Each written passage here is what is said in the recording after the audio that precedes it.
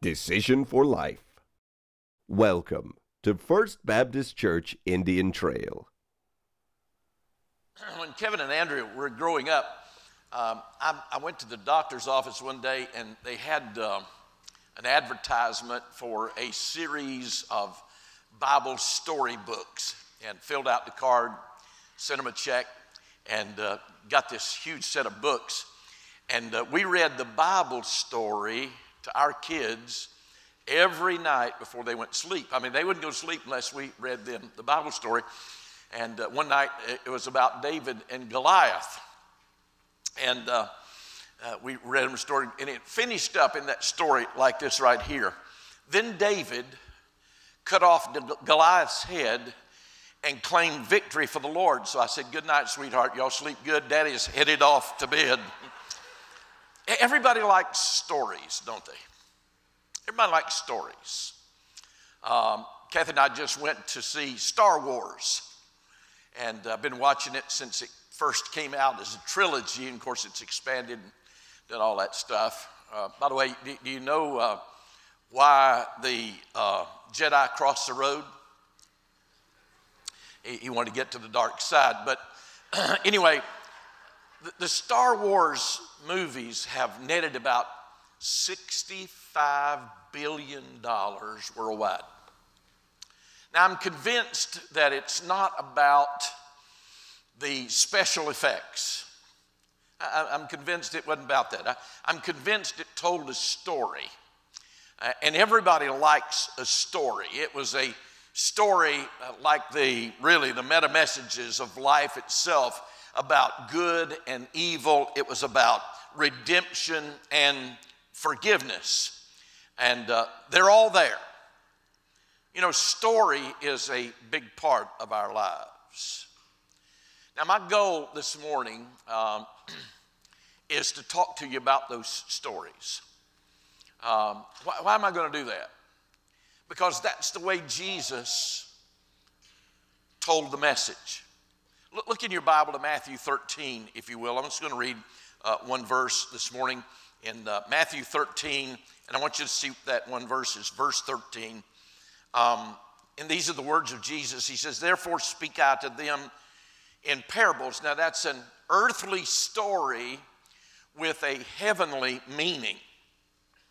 And Jesus imparted those stories in a powerful way because he says, uh, They seeing not, and hearing they hear not, neither do they understand. Seeing they see not, hearing they hear not, and they don't have any understanding. So, in order for me to get them to understand and to see and to hear, uh, he chose the methods, he said, of telling stories.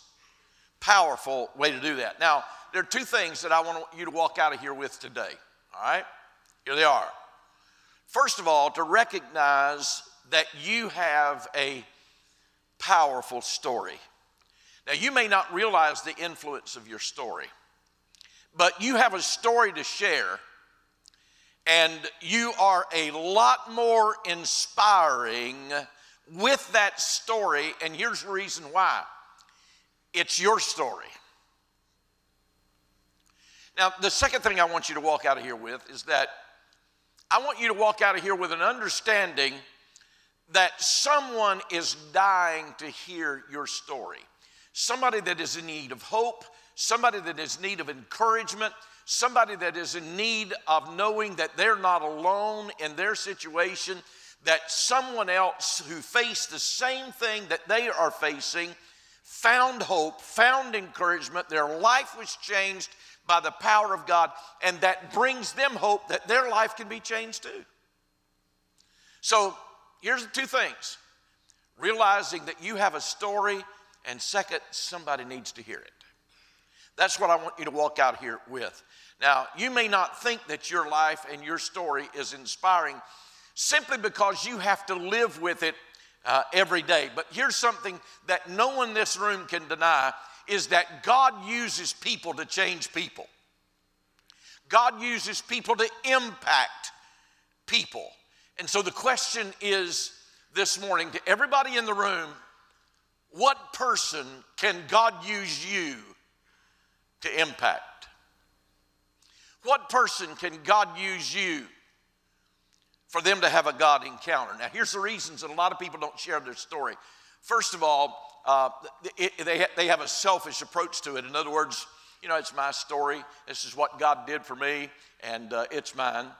And then they have this tremendous fear about them. They're just totally scared to communicate that story uh, with anybody else.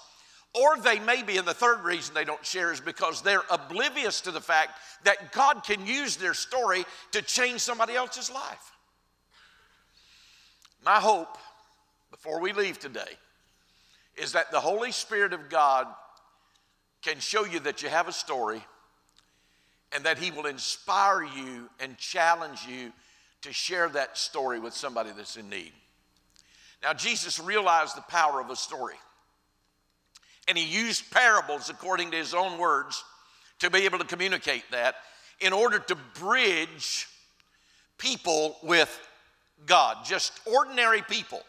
He communicated to farmers, he communicated to fishermen, he communicated to tax collectors, and he connected them with God's story. And that story always had a beginning, it had a middle, and it had an end to it. One of the things that uh, came out to me in, in the men's conference over the weekend as we were watching, got caught off guard, a little bit surprised by one of the speakers was a creationist. And, and I sat there in amazement and realized that God's got this humongous story that He's telling. It has a beginning, it has a middle, and it has an end. And one of the things that occurs to me uh, this morning when I look at all of us is that every one of us in this room are part of God's story. You're an amazing part of God's story. You know, when I was growing up as a kid, uh, I wanted to be a part of a story that was much bigger than I was. I, I lived in a very remote part of the mountains of western North Carolina, and I only had a few cousins around me. But uh, me and my cousin Ronnie uh, would get out into the yard, and somehow we'd been able to muster up a couple of ball gloves and a baseball. And, and I wanted my life, I wanted my story, I wanted my reality to be something much bigger than what it was. And so I pretended that I, I was Lew Burdette or Warren Spahn of the uh, Milwaukee Braves. And I'd get out on the mound that we had made, and, and, and, and I'd just pretend that it was the bottom of the ninth and there was the bases were loaded and there were two outs and it was a 3-2 count and I would throw that 3-2 count and strike out the guy and the Milwaukee Braves would be the winners of the World Series.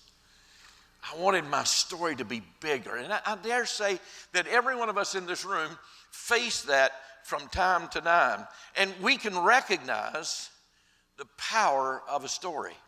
Now, the second thing, after recognizing the power of the story, now here we go, is that uh, we can articulate that story. You say that's a mighty big word for an old boy up in the mountains. And well, I thought it was a pretty big word myself. In order for me to understand, I had to go look it up to see what it meant. And it really means to define, it means to craft, it means to think it through, it means to write it out. Now, my educated guess is, is that over 90% of you in this room today have never sat down and you've never written out your story. You've never seen it in print. You've never thought it through. You've never defined it. You've never uh, taken the time just to write that story out where you could read it. So, my challenge is to you this week I want every one of you to leave today, and at some time between now and next Sunday, I want you to take the time, and I really, the sooner you do it, the better, and the more likely you will do it, is sit down and just write out your story. And you simply put down, you know, this was my life before Jesus Christ. This is how I encountered Jesus Christ. That's the middle part. And this is my life now that I have received Jesus Christ as my Lord and my Savior. and just spend time writing it out. Here's the second thing after you write it out, I really want you to memorialize it. I want, want you to just to digest it. I want you to soak it into your life, and then I want you to practice it. Now, many of you just came out of an 8 o'clock life group. Several of you are going to leave in a few minutes, and you're going to go to an 11 o'clock life group. And now, for the next several weeks, uh, how, how, many life group leaders are in the, in the building? Let me see your hand just a minute. Hold up your hand just good and high. Good and high. Our life group leaders.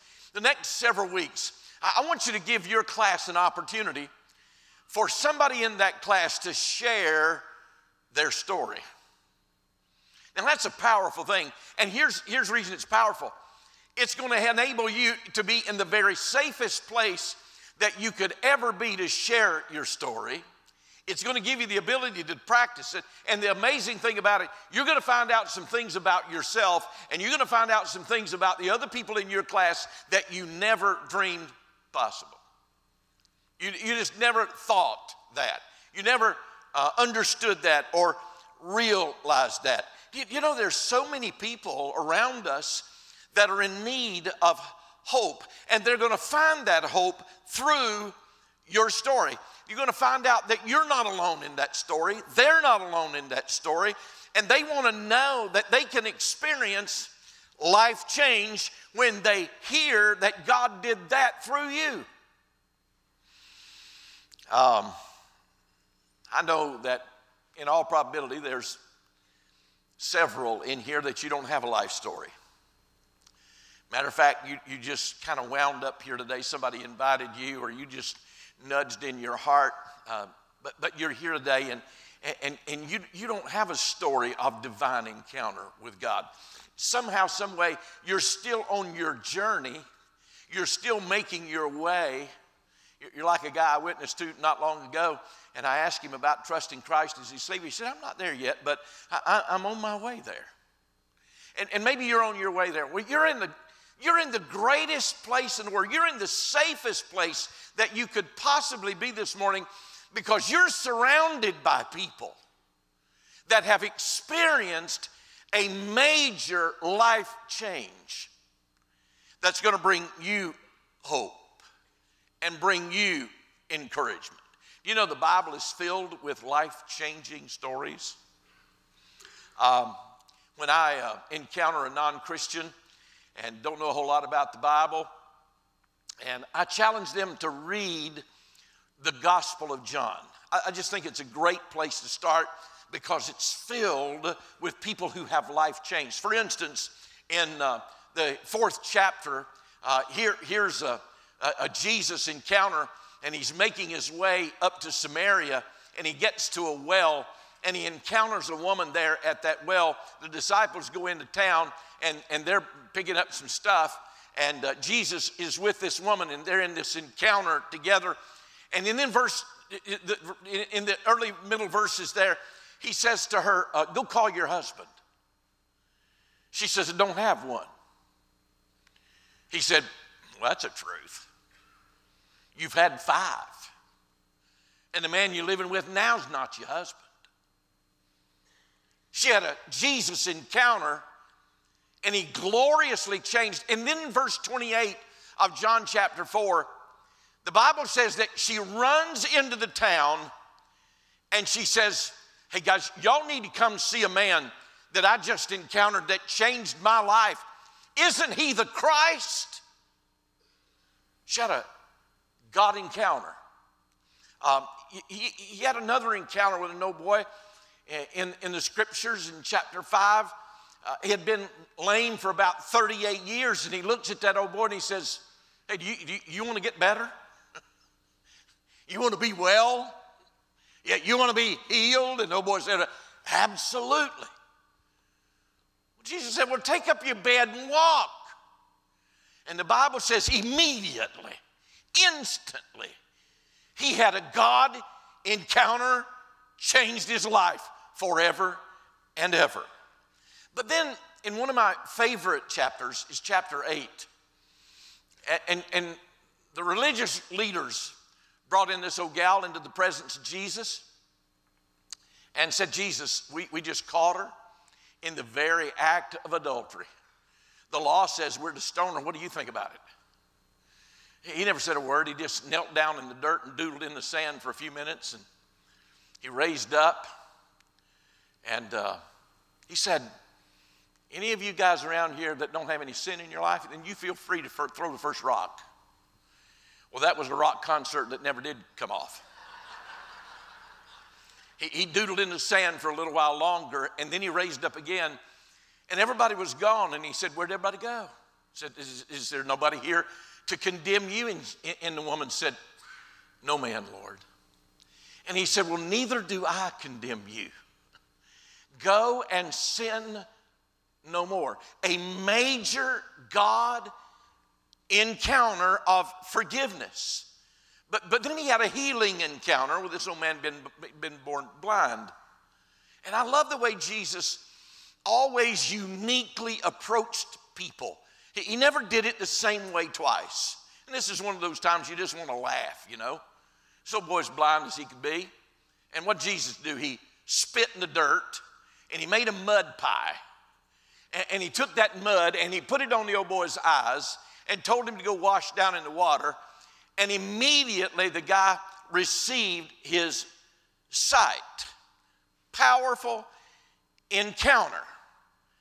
And I just, you know, when I read these stories like that, I, uh, I can't help but think the disciples of Jesus, what were they doing when they saw all of that stuff?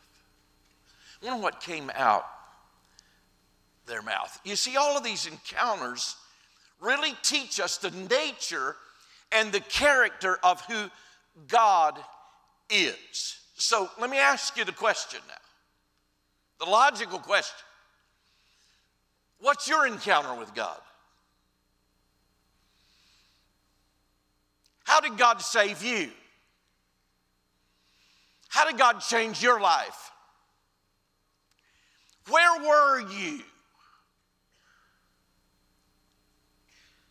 when God forgave you of your sins and changed you? And you, by the way, salvation is a cataclysmic, convulsive event that will never leave you the same. Where were you? You ought to remember where you were and you've never been the same since then. What's it like? What's your life like now since Jesus has saved you and changed uh, your life? You understand? I want you to write that down and memorialize that event in your life. And once you've thought it through and celebrated it, now you've got something to share. You say, you know, I've, I've heard all these testimonies, and and when I compare mine to some of those testimonies that I've heard before, uh, mine really turns out to be rather boring, Pastor. I, I, I never was on drugs, and, and, and I, I, don't have a Elvis Presley tattoo running up the back of my neck, and I, I just don't have all of that stuff that I was like. I want you to hear this. If you don't hear anything else, you need to hear this. Your testimony does not have to be intense to have an impact.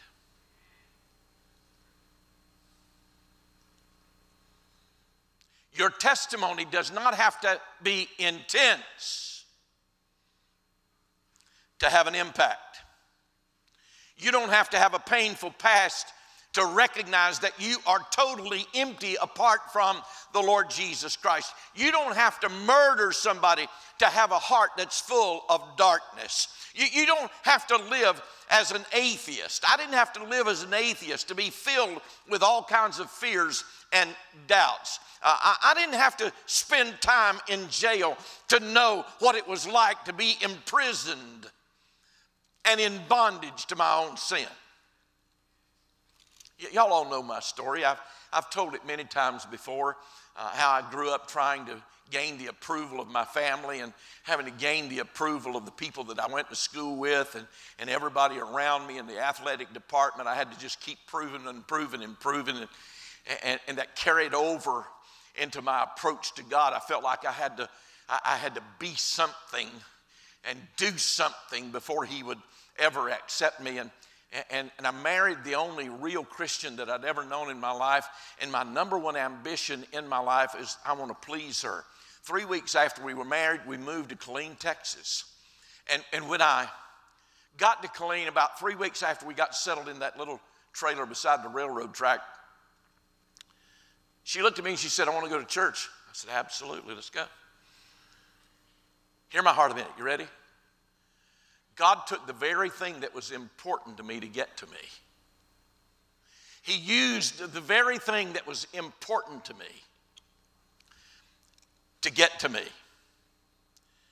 Sitting there on the pew, and God knew what I had to hear, and He said, I love you just like you are. You don't have to go change. You don't have to go fix anything. You don't have to go undo anything. I love you just like you are. And friends, my life's never been the same since. And I've had the opportunity, and I believe with all of my heart that God somehow has used that story to impact many people down the road. Why? Because it's my story. Recognize the power of the story, articulate the story, and then here's the third one listen for opportunities to share your story. Here it is. There he goes. I wondered when it was going to get to this point. You're always going to talk about, always has talked about witnessing, always talked about evangelism. Here we go. Just witnessing stuff. Some of you get burdened down with guilt and shame because of your past and because of the fears that grip your heart. And you finally come to the conclusion I just don't think I can do that. I don't think I can be effective at that. Now, the key here is this the key is the word listen for the opportunities. So, we're not asking you to shove your way into somebody's conversation. We're not asking you to kick down a door to make an opportunity. Not asking you to do that at all. We're not asking you to jerk somebody into an alleyway and tell them they're going to die and go to hell if they don't get saved. That's what happened to me as a six year old boy. Um, not asking you to do that. Not asking you to do weird stuff. Hey man, do you know you're going to die and go to hell if you don't get saved? No. I'm not asking you to be walking your dog one day and somebody says, Hey, that's a nice dog. Dog, that's backwards for God. He can be your best friend too. No. It's not it. You know what? You know what the world is full of? It's full of people who are looking for somebody that's genuine and that somebody has the time just to listen and care about what they're going through. So just listen for those opportunities that God gives you. Colossians 4 says, Live wisely among those who are not believers and make the most of every opportunity. What, what's my job as a child of God? My job as a follower of Christ is to be sensitive to the Holy Spirit of God and genuinely care about other people and then look for an opportunity that God gives me to plant the seed of faith in somebody else's life. I may not see the results. Took me a long time to get there as, as a Christian. Took me a long time to get there as a pastor to realize it's not my job to bear results. That's God's job. And, and, Corinthians tells us, Paul says, you know, my job is to plant the seed of faith. Apollos comes along and waters, but it's God who gives the increase. remember after the resurrection, one of my favorite stories in the New Testament, Peter and John were going into the temple. There's no boy lying there, and he was begging for alms. He was crippled, and he was begging to, for his sustenance. And Peter and John said, Silver and gold have I none, but such as we have in the name of Jesus, rise and walk. That old boy had new ankles and new feet and new bones. And he leaped and he praised God, running into the temple. And the temple crowd, who had just seen him lying there at the entranceway, they said, Wait a minute, what's happened to him? Peter and John had the opportunity to tell them what Jesus had done. Said, We didn't do this, it wasn't us. Jesus of Nazareth, he's the one that did this. Next day, they were put in jail by the religious leaders and they let him out of jail and said, Hey guys, what, what were you thinking out there? What were you talking about in that setting?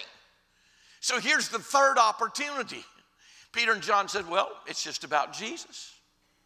Jesus paid it all. All to him we owe. He rose from the dead. So here was the opportunity to speak into one person's life, and then God gave them the opportunity to speak into the crowd's life. And then the next day, they had the opportunity to speak to the religious leaders. And if you study the passage, 5,000 came to faith in Christ. Powerful use of opportunities. They didn't force their way into any of them, God gave it to them. Let me ask you a question this morning. What makes you afraid to share your story? Um, because one of the things that I want to do before we say amen here today is I want you to identify what the fear is that keeps you from telling somebody else what Jesus has done for you. And then not only do I want you to, to, to identify it, I want you to define it. I want you to get it out there. Is it intimidation? Could be. It could be embarrassment. You're maybe afraid that somebody is going to judge you in some capacity. Or maybe you're just afraid of ignorance uh, if somebody were to ask you a question that you would not be able to answer. And so the fear of embarrassment uh, comes and grips your heart. These are all the same excuses and fears that I've heard since I became a Christian in 1970. P- Peter and John, they were commanded by the religious rulers of their day, said, You can't talk about this anymore. It's creating chaos. So we are commanding you now to shut up about Jesus. You know what their answer was? We can't help. We can't help but tell what we have seen and what we have heard. We can't help it. You, understand that fear of intimidation, that fear of judgment, they overcame it and they didn't let it stop them from spreading the gospel. Um, you, un- you understand something? They got to the point that they said, you know, we really don't care what people think about us. We have an audience of one, and he's the one that changed my, my life, and we can't help but tell other people about it. So the real issue here is, you know, who, who is it? Is it about people or is it about God with you? Now, the second fear is ignorance. You're afraid that somebody's going to ask you a question that you won't be able to answer. Can I help you with that? It's okay when somebody asks you some theological question that you're not familiar with to be able to say right back to them, you know, I don't know the answer to that. But I tell you what I'll do I'll research it, I'll look it up, I'll try to find out what the answer is, and I'll get back with you. But this is what I do know I know that once I was blind and now I see. I once was lost and now I am found. Let me tell you what I do know. It's okay to say I don't know. Fears will stifle your story, but there are people in pain that need to know that they're not alone. Now, I want to ask you a question. I want you to think about this for a minute, okay? What one person that you know may be healed because of your story? I want you to think what one person who's never had a God encounter might be healed because of your story. One person that's not going to heaven that might go to heaven as a result of you sharing your story. I, I want to bust a myth here. bust this myth. The myth that you have to have it all together to be a witness.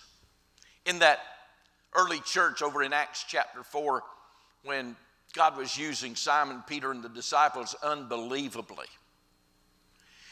And, and, society got to looking at them. The, the, the, world's religious crowd got to analyzing them and, and, trying to figure out what in the world is going on here. And the Bible says in Acts 4:13 that they saw that these were just ordinary men.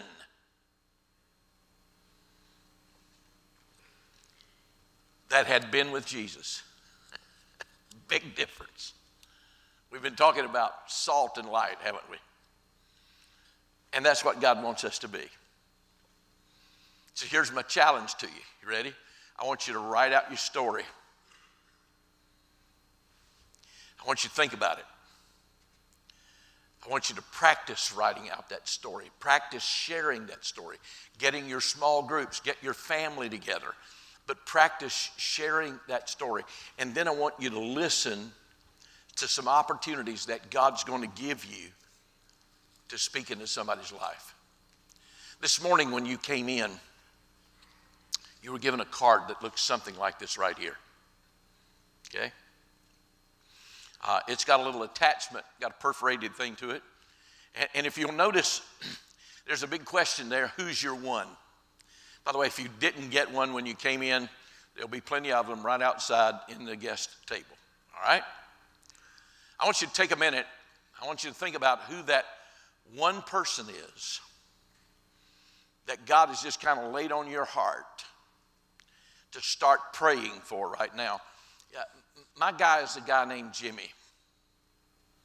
Haven't seen Jimmy in about four or five years. Jimmy knows me. He's a businessman in this area. Unchurched, never had a God encounter. Wife got saved here at one of our special events. But Jimmy doesn't know the Lord. He's at the top of my list right now. He's my one. He's the one that I'm seeking for an opportunity for to listen, show him that I care, and share my story with. I got a couple more. I got Richard and I got Jackie. I got three, but at the top of my list is Jimmy. He's blinded. The Bible says that the God of this world has blinded his mind that he cannot see. So, what I've been doing is I've been praying for Jimmy. God, I want you to open his eyes. I want, you, I, I want him to see his need for you. And then, God, give me that opportunity to share my story with Jimmy. I want everybody in the room that has had a God encounter, your life has been changed by the Spirit of God. I, I want you to write down the name of the person that came to mind when we ask you to identify who's your one. Okay? I want you to write their name down on that card. Just tear it off the card, write their name down, put it in a prominent place, hold on to it, and pray over that person in these next few weeks. All right? Share your story. Church wide, here's, here's the deal. Uh, we, we've been praying for a long time, seeking the Lord for weeks and weeks about where we're headed in 2020. Here's what we want to see the Lord do in the next 11 months. In 2020, we want to see 700 people experience life change. We want to see 700 people have a God encounter. 700 people who meet Jesus, encounter Him, and be gloriously saved by the grace of God. Now you say, Pastor, you don't need to be concerned about numbers. Well, God's concerned about numbers. He named a book Genesis, Exodus, Leviticus, he identifies 5,000 got saved, 4,000 got saved, 3,000 got saved, multitudes got saved. God cares about numbers. You, you know, the, the only people that I know that are putting numbers down are those that are not running them up. Just, I thought that's pretty good myself. We want to see 700 people come to Jesus. We want to see 400 people follow the Lord in believers' baptism. We're going to begin like this write your story down, memorialize it, get familiar with it, begin sharing it in safe places. Listen for God to give you an opportunity to share your story. March the 1st, here's what I want you to do I want you to bring your one to church with you. March the 1st, I want you to bring your one to church with you. I'm, I'm going to preach a gospel message that day on how a person can be saved and know Jesus. Okay? Bring your, bring your one. On March the 8th, Johnny Hunt's going to come. It's going to be a huge thing over the weekend. We're going to be celebrating Who's Your One with some other churches in the community, but I've asked Johnny just to come since he's going to be here Saturday and Monday anyway. I've asked him just to come and preach Sunday morning here. March the 15th, we're going to have a tremendous celebration of baptism. We to see people baptized. We want to head toward that goal of 700 salvations, 400 baptisms. And March the 15th, we're going to see evidence of that. I don't even know if I get to preach. I believe there'll be so many. I'm praying there'll be so many I won't have time to preach that day. We'll just be having a baptismal service all 9:30. Glory to God. all right? I pray that you'll love him enough that you'll share him with somebody that you know. Now, there, some of you here this morning, you don't have a story. I wish Julie was in here this morning. Julie was at 8 o'clock. She's been a member of this church for a number of years, a long time. I'd probably say 25 years she's been a member of this church. Sits right over there eh, eh, all the time. This morning she came weeping and she said, I had to get this right. God told me to trust and obey. And she said, Pastor, I believe that this was my last opportunity that God was giving me to have a salvation experience. I said, Wow. I said, Julie, are you serious? She said, I, am serious, Pastor. I need to be saved. Prayed to receive Christ. I said, Julie, what did God do for you this morning? He saved me. There's some of you that have never had a God encounter before. You don't have a story, so you, you're not going to be able to go home and write it out because God's never changed your life. Well, He can this morning. And before you get in your car to go home, you can have a story to share. Would you bow with me? Let's pray together. Heads are bowed, eyes are closed. If you don't have a story, if you can't go back to a time and a place where God changed your life, by the way, salvation is a life changing experience. You'll never be the same. Thank you for watching Decision for Life. Our location, life group, and program information are available online at fbcit.org. We hope you will take the opportunity to join us in person. Thank you from the family of First Baptist Church Indian Trail.